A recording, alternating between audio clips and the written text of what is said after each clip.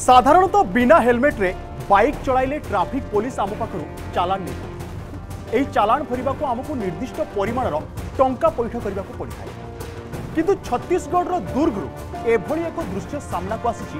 ଯେଉଁଠାରେ ପୋଲିସ ବିନା ହେଲମେଟ୍ ଧରି ବାଇକ୍ ଚାଳକକୁ ଫାଇନ୍ ବଦଳରେ ଏକ ଅନୋଖା ଦଣ୍ଡ ଦେଉଛନ୍ତି ତାହା ହେଉଛି ଅଳିଆ ସଫା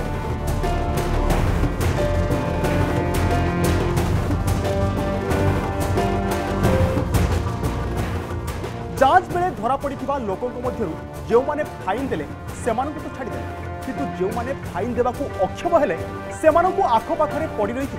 অলিয়া সফা করা নির্দেশ দিয়েছে লোকে অলিয়া সফা করা পরে সানিটাইজর দিয়ে তাঁর হাতক সফা করে এরপরে হেলমেট পিধিবার আবশ্যকতা এবং ব্যবহার সম্পর্কের বুঝাই মতো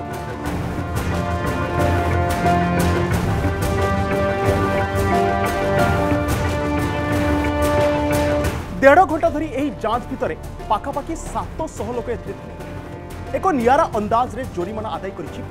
दुर्ग भिलाई को प्लास्टिक मुक्त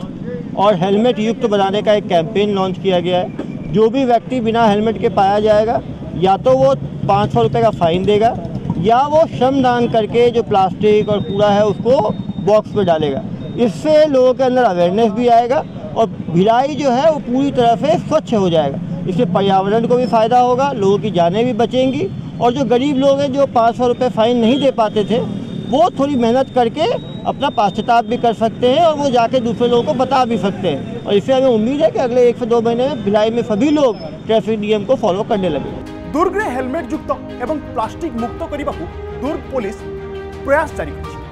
सबुठ बड़ कथा हूँ कौन भी व्यक्ति किसी अभियोग कर लोग जो है किसी ने भी इसका विरोध नहीं किया है। पैसे वाले हों गरीब हों अमीर हो सभी लोग श्रमदान में कर रहे हैं और कहीं ना कहीं हमारी समाज के लिए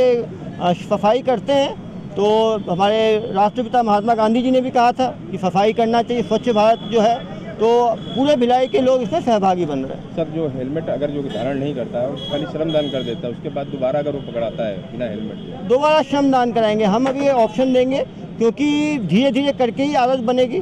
फाइन काफ़ी ज़्यादा है। काफ़ी लोगों को दिन भर की कमाई जो है वो फाइन में निकल जाता है तो लोगों के अंदर थोड़ा सा अब